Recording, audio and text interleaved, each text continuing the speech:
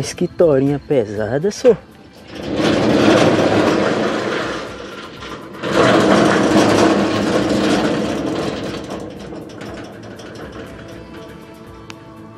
curta, mas é pesada.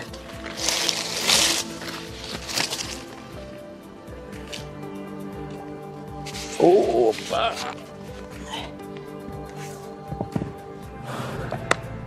Chegou. Olá, tudo bem? Bem-vindos a mais um vídeo.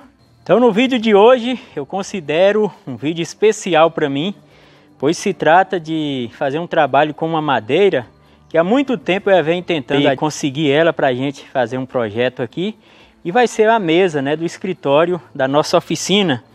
E essa madeira aqui, ela é o putumunjum vermelho. É uma madeira raríssima, é muito difícil da gente encontrar como a gente pode ver aqui, já é uma madeira seca, né? Provavelmente há muitos anos que, que ela já foi tirada. E aí meu irmão encontrou para mim umas duas torinhas como essa aqui, ó. Então é uma madeira que tem bastante cerne. Ó, a parte branca dela é bem pouca, né? Mesmo assim, tá intacta, né? Os cupins não atacou por ser uma madeira de lei, né? Madeira bem resistente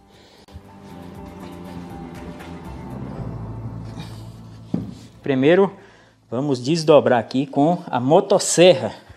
Tirar três casqueiros.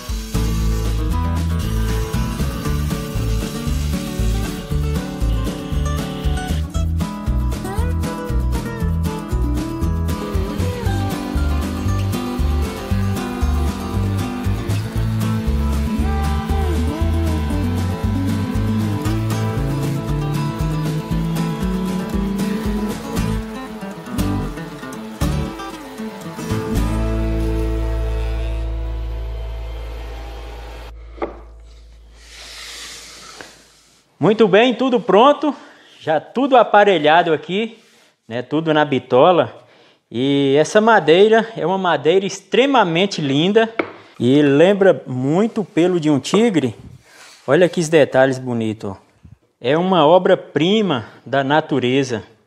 Só mesmo Deus para fazer uma coisa tão linda como essa, né? Uma madeira que já vem com uma machetaria natural várias cores, né? Realmente um espetáculo as cores aqui dessa madeira. Então é uma madeira bem exótica, né? É, até hoje, trabalhando com madeiras, eu ainda não vi uma madeira tão linda né, de você olhar e ficar admirado, né? Encantado aqui com a beleza dessa madeira. Putumujum vermelho. Então agora vamos para a colagem. Então vamos posicionar aqui para a gente passar a cola.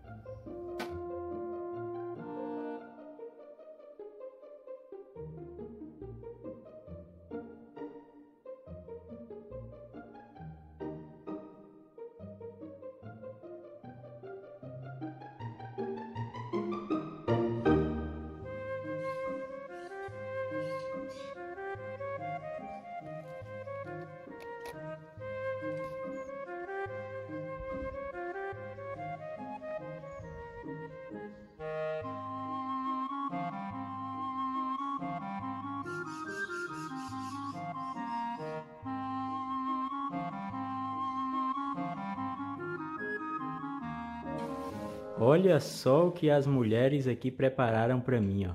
A esposa e as crianças. Eita, intervalo arrumado. Uma panqueca especial. Hum, vamos lá. Nossa, queijo. Eu sei que tem.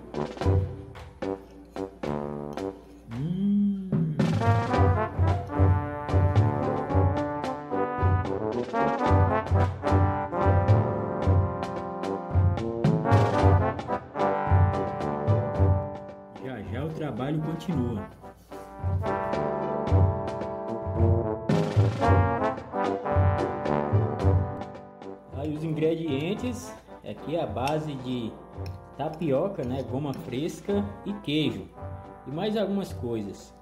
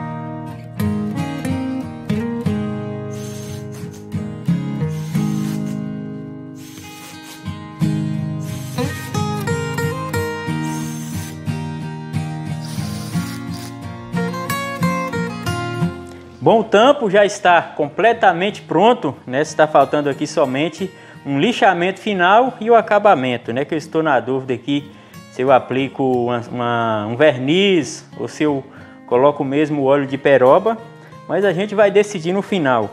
Então, outra coisa é que nós vamos fazer a base, que é a estrutura da mesa, usando o vinhático, né? Que é uma madeira muito bonita também. Coloquei essas duas travas aqui também eu achei que combinou aqui com a cor do putumunjum. E o que eu fiz aqui também nas laterais, eu não acertei aqui com a serra, né? Eu resolvi é aproveitar o máximo da madeira, apenas fiz um lixamento aqui, né, para tirar as rugas, né, as marcas do, do corte, tinha algumas irregularidades, então a gente aproveitou justamente esse detalhe que tinha nas madeiras, aqui a diferença de tamanhos de uma para outra? Então a gente já fez aqui esse modelo que vai ficar diferente, né? Então vamos lá, vamos continuar.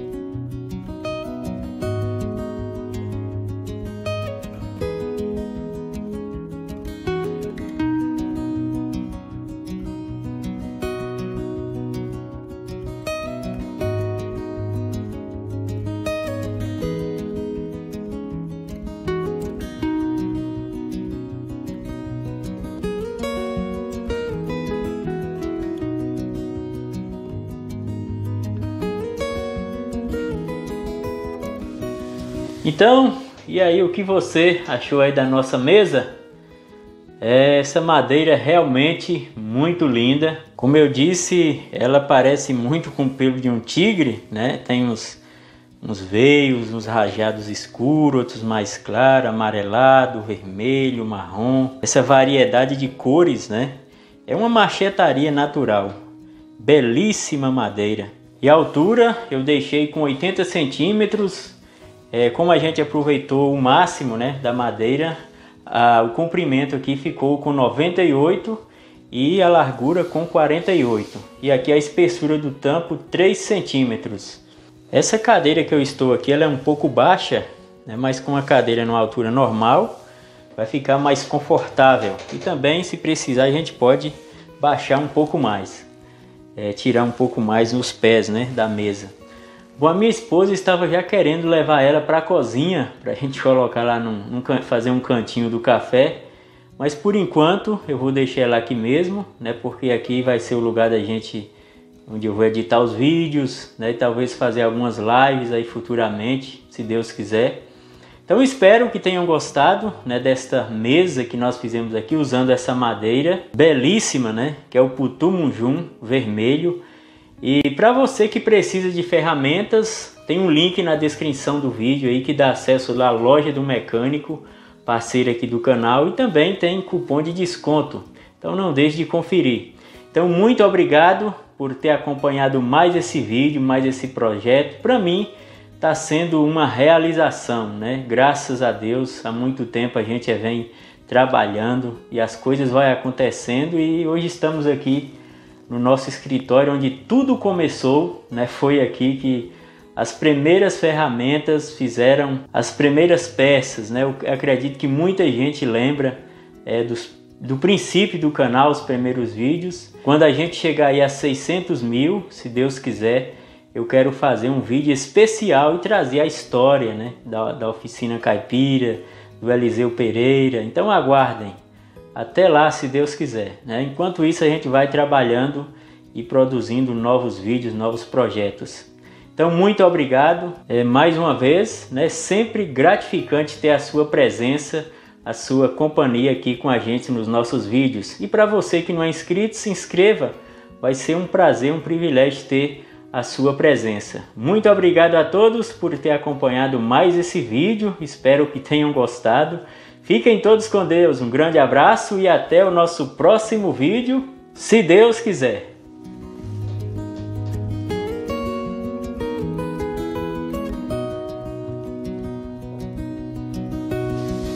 Essa madeira aqui faz inveja nas outras, né? é de encher os olhos, muito bonita.